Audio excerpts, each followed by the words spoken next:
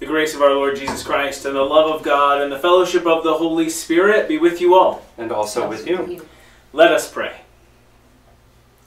We thank you, O God, that you have again brought us together on the Lord's Day to praise you for your goodness and to ask your blessing. Give us grace to see your hand in the week that is past and your purpose in the week to come. Through Christ our Lord. Amen. Welcome to this service of the Word for the ninth Sunday after Pentecost. We thank you for gathering with us and for finding us uh, here on YouTube. Um, you'll note that uh, that the cast uh, today is is the same cast as last week, um, and that Reverend Paul and Charla are still on their holidays, and so please do include them uh, in your devotions this week for safe traveling mercies and rest um, and uh, recovery from uh, from all that uh, is going on, and uh, that they will be refreshed for the months to come. My name is the Reverend Robert Clifford, and I'm the rector at All Saints Anglican Church in downtown Windsor. Joining me in studio, the Reverend Ryan Boyvan, uh, the rector at St. David and St. Mark's here in Windsor and St. Andrews uh, in LaSalle. Also, the Reverend uh, Elise Chambers, the rector at the parish of the Southern Trinity. Uh, joining us on the keyboards today, and as always, uh, Jonathan Kabaruka. We thank him for his ministry uh, among us. And also, uh, Chris Gavert will be uh, breaking open God's Word for us today and preaching. Uh, so we thank him for his, his ministry as well. Join us now for our opening hymn. In Common Praise, the hymnal, it is number 330 on screen or on your song sheet. O praise ye the Lord. He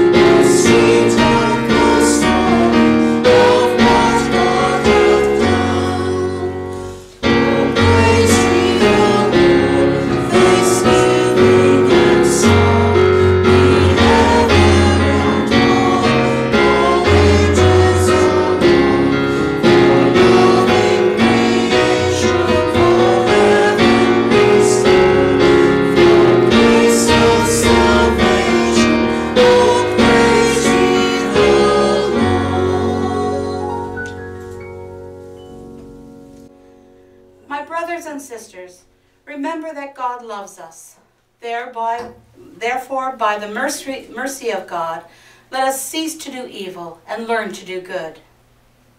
Let us pray. Most merciful God, We confess that we have sinned against you in thought, word, and deed, by what we have done and by what we have left undone. We have not loved you with our whole heart. We have not loved our neighbors as ourselves.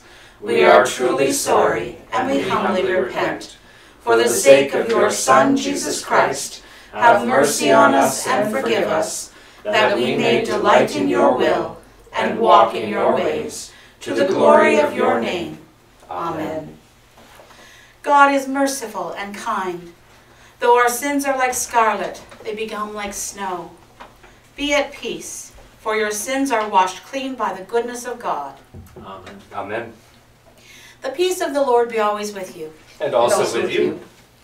Our act of praise is in our Common Praise Book 354, Come Thou Font of Every Blessing, and it's also on your screen or in your booklet.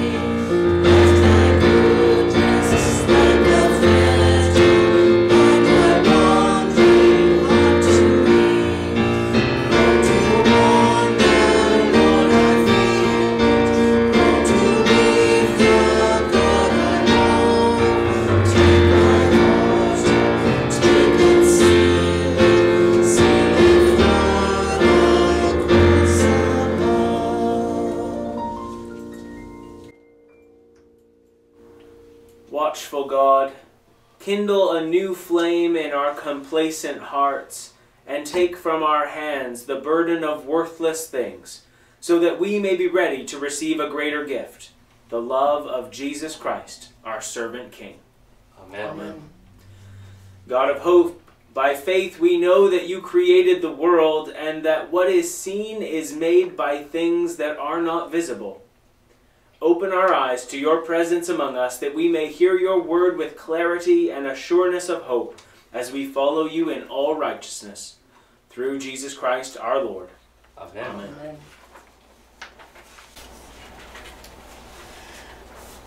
Our first reading is a reading from the book of Isaiah. The vision of Isaiah, son of Amos, which he saw concerning Judah and Jerusalem in the days of Uzziah, Jotham, Ahaz, and Hezekiah, kings of Judah. Hear the word of the Lord, you rulers of Sodom. Listen to the teaching of our God, you people of Gomorrah. What to me is the multitude of your sacrifices?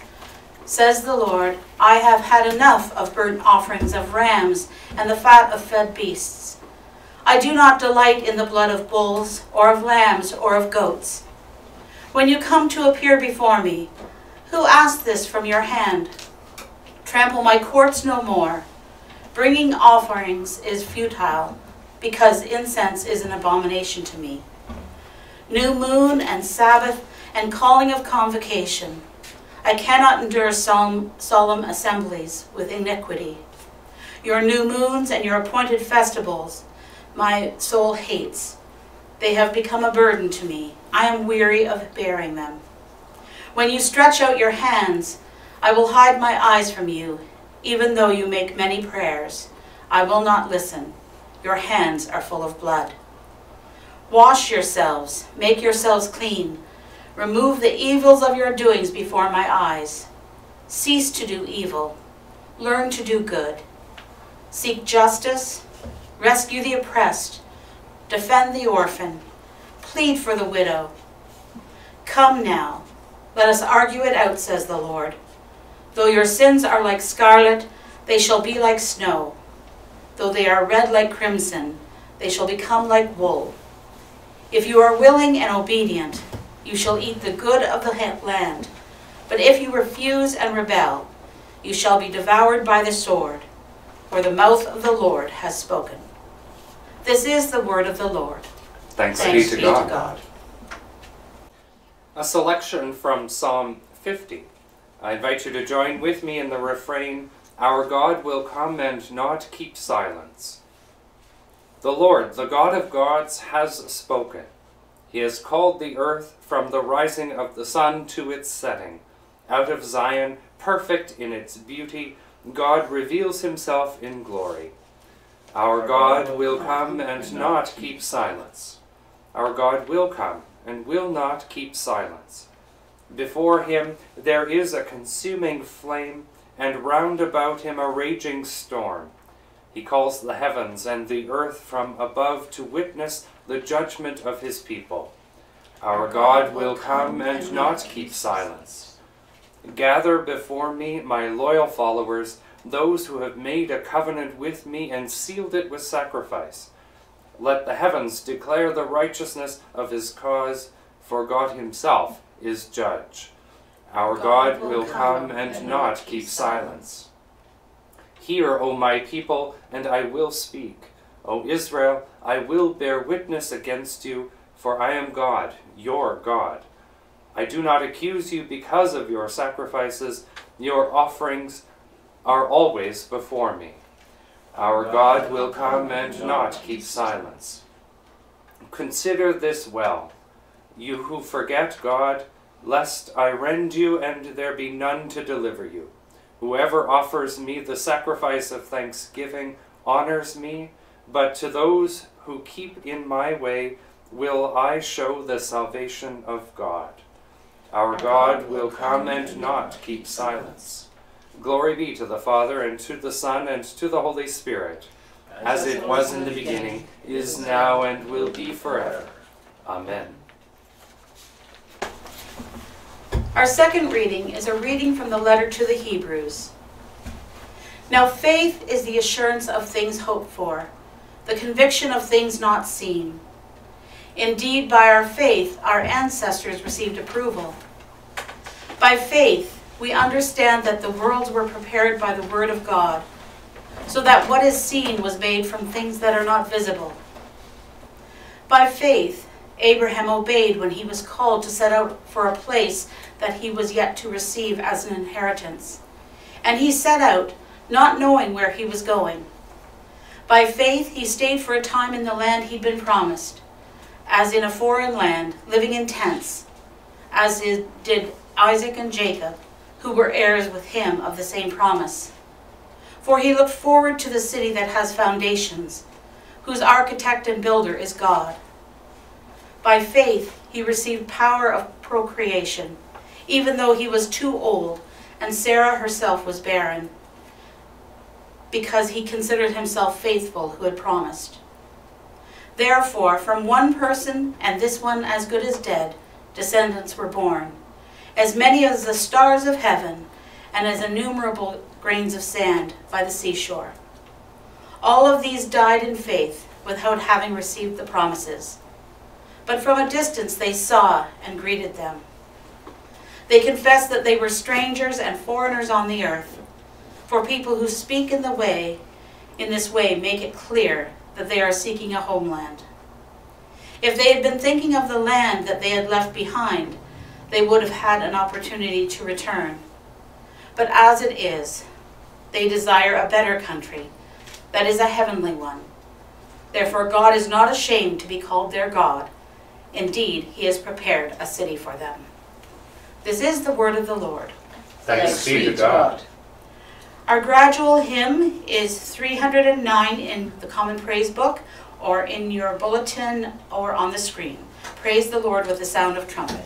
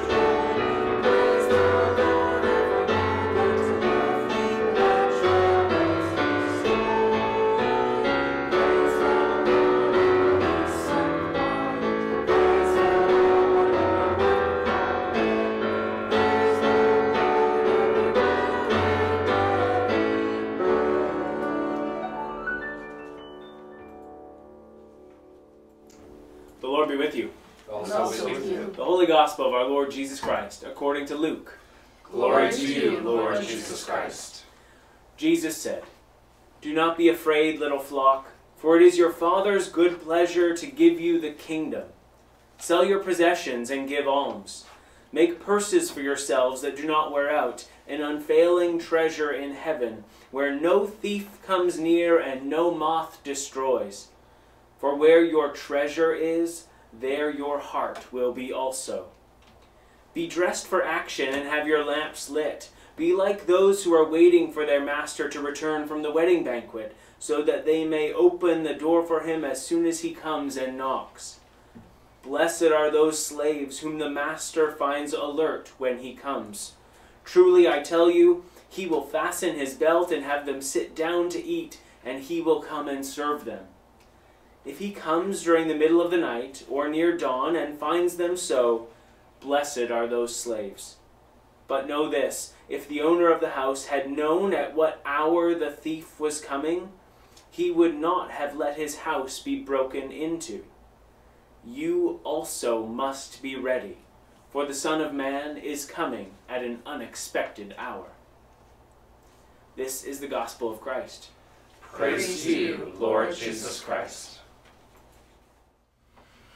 Do not be afraid, little flock, for it is your Father's good pleasure to give you the kingdom. Sell your possessions, give alms. Make purses that do not wear out, for your treasure, where your treasure is, there your heart will be also. My brothers and sisters, we find ourselves in the middle of the doldrum days of summer, contemplating the world that is around us, and God knows the past two years have provided us everything to be worried about. If it's not political unrest, it's war. If it's not war, it's inflation. If it's not inflation, it's another virus. So much to be worried about, and yet we're told today in today's scripture not to worry. well, what could he possibly mean? Does it mean that I have to go and sell everything I own in order to be a faithful follower of the kingdom? I think sometimes what we do is we believe that the scriptures act as a uh, a recipe for salvation. In other words, do these things and you'll be okay. But I think if any good exegesis of, of scripture, we have to understand the meaning and the context around it. What does it mean to have faith? We heard in the letter to the Hebrews about Abraham, Isaac, Jacob, how they had faith. But if somebody would have told them all that they would have to go through in order to be an experienced member of faith, I bet you they'd say it's impossible. And yet here we are, looking back on their lives and realizing that faith is something that we live in the moment. Let me give you a story. It's a parable. It's a story about two cousins. One cousin was on the farm, one lived in downtown Toronto. And the cousin, the city cousin, invited the country cousin to come and visit him. And as he met his cousin at Union Station, they emerged from the cavernous walls of Union Station out onto Yonge Street. And onto Yonge Street, they began walking down, and you could see the farmer caught up in all of the grandeur of the downtown city core the noise, the honking, the sirens, everything going on around him. And the cousin says, the city cousin says, Don't you think this is great? This is amazing? And the country cousin says, Well, it's something. And a little bit while later, while they're walking down the street, they come past one of the local banks, one of the downtown banks, and the, the farmer cousin says to the city cousin, Stop for a second, do you hear that? And the uh, city cousin says to him, Well, what do you mean? I hear lots of things. I hear noise, I hear sirens, I hear uh, bells, I hear the cacophony of sound that a city makes. And he said, No, no, just a, just a second. He put his finger to his lip and he, he, he stopped and he, he looked towards the corner of the uh, bank door and he found a rock and he turned the rock over and there it was a cricket. And as he, he pointed out the cricket, his city cousin said, How could you possibly hear that? And the country cousin said, It depends what you're listening for. A little while later, they're walking down the street, and somebody's cell phone went off. And as they reached in to the, grab their cell phone, a bunch of change followed out. Loonies and toonies fell out onto the street, and everybody around them turned and looked at the money falling to the ground. And his cousin said, "See, it depends what you're listening for." I think if we take that as a parable for today's gospel, we can elicit what maybe faith is calling us to today. What is it that faith is calling us to today? Is to learn what it is we are listening for. Where your treasure is, there your heart will be. I think it's interesting how we spend a lot of our time focused on future or past. We get caught up in the future and worried about where what are we going to do tomorrow what will happen. We can look at our churches and say well we have a church in a year or two what's going to happen? Or we can look at our past and get so hung up. Eckhart tolle writes too much future creates anxiety and too much past creates depression. It's one of the privileges i have in celebrating funerals at one of our local funeral homes is to be caught up in people's now it depends what you're listening for I think the act of Christian faith is learning how to be present in the current moment, knowing that what we have now is everything we need to have, that God gives us what we need now. Again, had He told Isaac or Jacob or or um, David everything that he would have to accomplish in their life, I'm sure they would have melted under the pressure. I can't do that. Yet, if we look back on our own lives, and see all the things that we have gone through to get to this moment, if we were told all of those things, we probably would have collapsed under the weight of anxiety. Anxiety is a product of fear, and fear is the antithesis of faith. What is the number one expression in all Scripture? Be not afraid. Be not anxious. Because whether you like it or not, no matter what we have to do in an hour from now or what happened an hour ago, you and I have no choice right now but to be with each other. So let's be here because God is God is found in the present moment. God is not a future reality or a past reality. God's life is with us now. Do not be worried, little children. Keep your light lamps lit. Know what it is you're listening for. But it's so easy with the cacophony of noise on the internet, on the news stations, proclaiming all that is wrong with the world, that we fail to see the goodness of creation. If all we had to commit ourselves to is a group of people willing to commit to the present moment, we would be in a far better position. It's not, I'm not trying to be Pollyannish here. I'm not trying to suggest that all we need to do is have positive thoughts, and not to suggest that the struggles and challenges aren't struggles and challenges. But in the context of the larger scheme, faith is knowing that even on Good Friday, God is still there. Our, uh, the symbol of our faith is the cross of Jesus Christ. We use an instrument of execution and torture to be our symbol of faith. Why? Why wouldn't we use the empty tomb as our symbol of faith hanging around our necks, but we use the cross? Because it is a constant reminder that even in our most challenging times, faith is found. In other words, but it depends what you're listening for. And that's why we have to train ourselves. That's what I believe our Sunday get togethers are all about, is a training field to retrain our ears to learn what to listen for. The messages in the scriptures and in the homilies and the sermons that are given to you on weekend are meant to inspire and encourage you to go out and live the now, to be present to the now.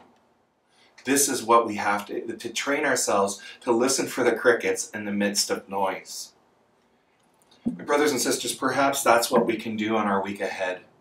We are in the glorious days of summer and we can complain that it's too hot, but in five months from now, we'll be complaining it's too cold. We could worry about all these things. But maybe in this upcoming week, we can learn to listen for God's voice now.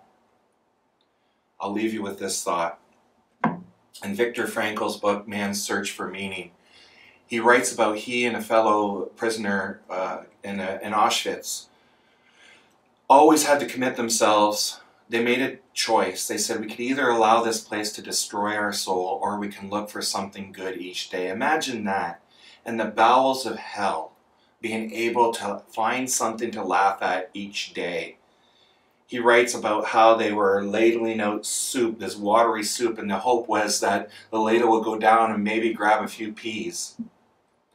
And he laughed and he told his friends, one day we're going to be sitting at a rich banquet table and they're going to be ladling soup and we're going to tell them, go to the bottom. That's faith. That no matter how dark things are, our God is with us. Isn't that what the Eucharistic table teaches us? Emmanuel, our God is with us. God is not about future or past. God has always been eternally now. Let that be our encouragement. Let that be our hope. And train our ears to listen for the crickets of the now. What is it that you want to listen for this week? Let us confess our faith as we say, I believe in God, the Father Almighty, creator of heaven and earth. I believe in Jesus Christ, his only Son, our Lord.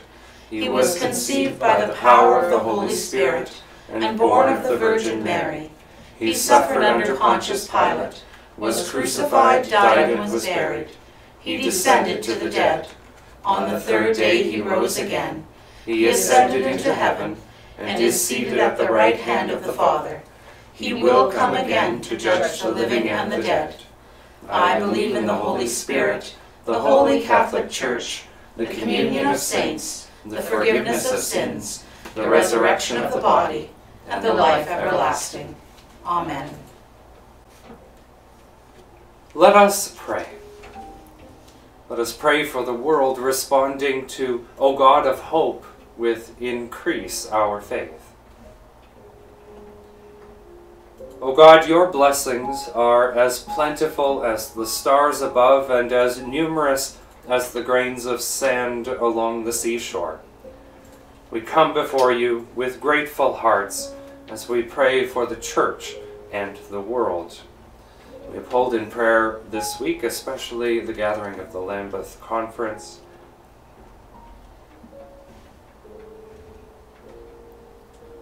O God of hope, increase our faith. We pray for wisdom and guidance for all people and leaders of this world, that they may foster peace and justice and serve the common good. Let us persist in prayer for Ukraine and all of Eastern Europe.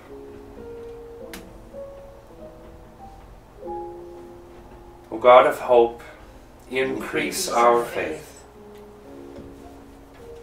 We pray for your church, that by your grace and our faith we may serve you with constancy and love. O God of hope, increase our faith. We pray for those who are sick or suffering any need, that they would know your healing strength and find comfort through our faithful care. O God of hope, increase our faith. Help us to protect the goodness of your creation, that all may enjoy the precious blessings of this world as a foretaste of the next. O God of hope, increase our faith. We remember those who have died and look to that heavenly city where with you and all your saints we will enter the everlasting heritage of your faithful sons and daughters. O God of hope, increase our faith.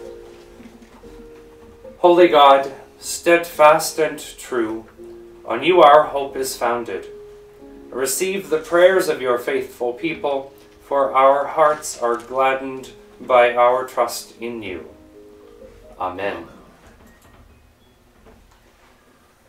Jesus said, Sell your possessions and give alms, for where your treasure is, there your heart will be also. Honor God with a sacrifice of thanksgiving and come into God's courts with praise. I invite you to consider um, how you can support uh, the many ministries that God is at work uh, doing in, in this area and in your area if you are joining us from afar. Uh, please do consider how you can support uh, the Sent, this ministry that you're participating in right now. And please do also remember the many ministries, the vital ministries of your home parish. Um, if you are joining us um, and, uh, and uh, staying uh, away from uh, on site worship at your home parish, that work continues there. So please do support it with your, your time, your talent, and your treasure. And while you do that, uh, join us in our offertory hymn, hymn number 601 in the Common Praise Hymnal, um, on screen or on your song sheet. God, whose giving knows no ending. Música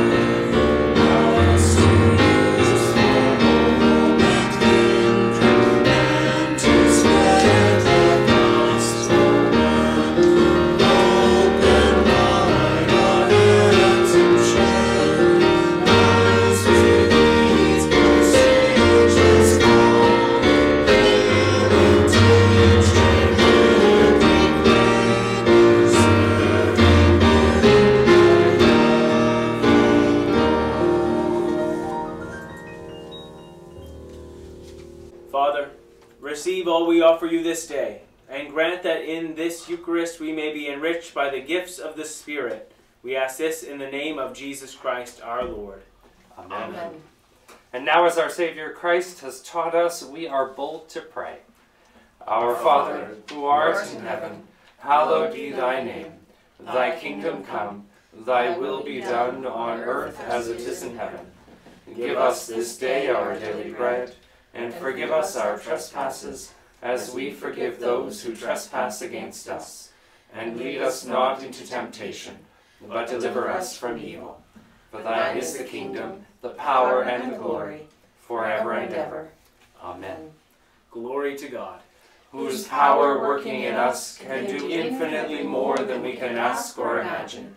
Glory to God from generation to generation, in the church and in Christ Jesus, forever and ever. Amen. Well, thank you for joining with us for worship this day. Um, a few announcements before we are blessed and sung on our way. Um, please do uh, consider signing up to receive the, uh, the weekly uh, bulletin of materials that come out from the Sent. Um, the subscription notice uh, may have been passed to you by whoever forwarded you the, this uh, order of worship for today's service. Do subscribe uh, to that and you can receive it yourself. Um, a few things that are coming up in the life of this community. Um, the uh, drive-through food drive uh, that have been going on for, for all of the three years now of COVID, nearly three years of COVID. Uh, this month's edition uh, will be on August the 21st, um, and uh, pickup points at All Saints downtown, St. Augustine of Canterbury um, in the east end, and St. James Roseland in the south end. Um, on the 21st, um, the proceeds from that will be going to uh, the Canterbury uh, College Chaplaincy Welcome Baskets uh, that will welcome uh, new students coming to Canterbury College. Uh, so please do consider items that you think would be necessary for uh, college students starting out perhaps on their own for the first time. So uh, cleaning supplies and, and household uh, items, small house, household items, uh, as well as, uh, as any food uh, that uh, you think a college kid would enjoy. Um, coming up uh, elsewhere in the city, uh, All Saints has uh, a chicken dinner coming up in September. Also, look for details of uh, an even song uh, to celebrate the 60th anniversary of St. Leonard's House uh, on the 18th of September. Uh, the proceeds from the, uh, the plate that evening uh, will go to support the chaplaincy um, at St. Leonard's House. Uh, with that, I think Elise, uh, Reverend Elise, would you bless us on our way? Be not afraid, for it is God's good pleasure to give you the kingdom, an unveiling, unfailing treasure, an eternal blessing. And the blessing of God Almighty, the Father, the Son, and the Holy Spirit be upon you this day and forever. Amen. Our closing hymn today is 379 in the Common Praise Hymn Book. Um, Rejoice the Lord is King. It is also found on your screen and in the booklet.